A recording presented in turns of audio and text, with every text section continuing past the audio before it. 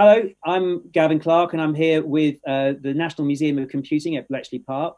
Uh, the museum houses a collection of some of the most important computers in British history. That's wartime, work time, and education. And I'm here with Peter Onion, who looks after one of those systems. Peter, we have thousands of people coming through the museum. We have 50,000 artifacts. What's the one question you get asked the most at the museum?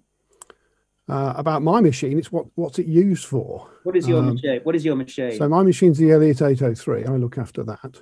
Um, as I say, it, when people look at it, they it's a pretty bland looking machine. So they say, what does it? You know, what was it used for? And it got quite wide usage actually because um, it was the era when a, a, another tier down in businesses started using computing the 803 represented very good value. It was very reliable. Um, and, and so smaller companies started to, to pick it up. Um, so there were commercial users, there were scientific users, and there were um, sort of ed- educational users as well. So commercial users, just to give a couple of examples, um, there was a knitwear company in Leicester called Corahs who had a couple of 803s that they used for um, processing all their telephone orders and, and, working that into production planning for all their knitwear. Um, there was another interesting company up in Yorkshire called Thornbers, who were a poultry farm.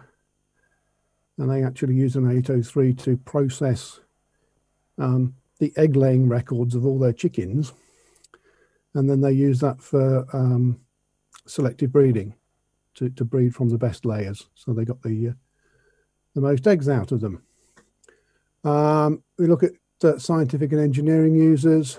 Um, the post office, the GPO at the time, had a couple of 803s. They had one at Dollis Hill, which they used for um, uh, simulating telephone networks and telephone exchanges uh, for doing capacity planning.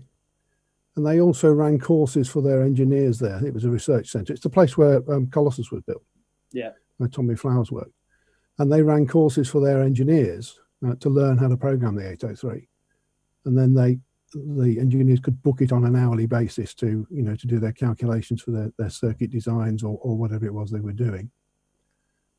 And they also had one down at Goonhilly which was uh, the, the, first earth station for um, for satellites.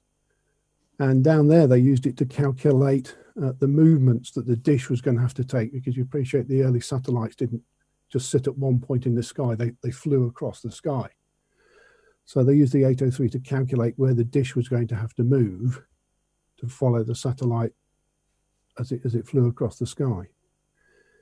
Um, and then there were many UK universities and, and, colleges, smaller colleges. As I say, the smaller colleges, it now became within their grasp. So they used them for teaching and research purposes. And again, it was the, the sort of the good value for money that machine provided that allowed the smaller uh, uh, establishments to, to buy them. And then it also got used in process control and online stuff. So some of the first 803s that came off the production line actually went, uh, were exported to America, uh, sort of coals to Newcastle type thing, and uh, where they got used for um, process controlling chemical plants and things like that. And then in the UK, um, there were several of them got put into into the steel industry, where they got used for controlling uh, rolling mills and things like that. And in fact, one of them paid for itself in six months because it, it calculated where they should cut as the billets came out of the uh, foundry. It calculated where to cut them, uh, you know, for what the customers wanted. And apparently, it paid for itself in about six months in a reduction in scrap. Okay. So th- those are some of the sort of things that they got used for.